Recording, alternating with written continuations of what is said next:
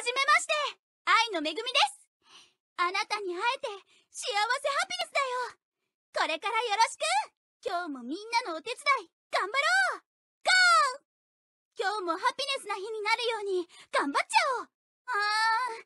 着ていく服が決まらないよ。姫師匠コーディネートお願いします。うひゃー。あんまりこういうの着ないけどラブリーなデザインでクは女の子らしさを引き立てるよね。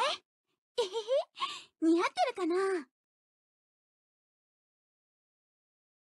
雨だけど、レインブーツがあればへっちゃら水たまりだってポーンと飛び越えちゃうんだから。うわー、桜が満開綺麗だね、聖治幸せハピネスだよ尺ってなんだかファッションショーしてるみたいで楽しいね。